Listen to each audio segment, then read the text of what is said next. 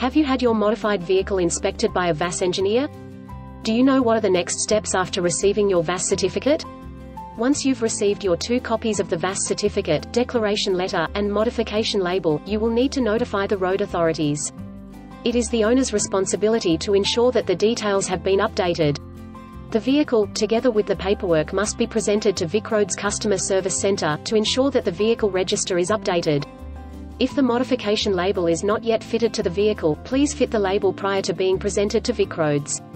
For light vehicles, the VASS is only valid for 30 days from the issue date, and no appointment is needed.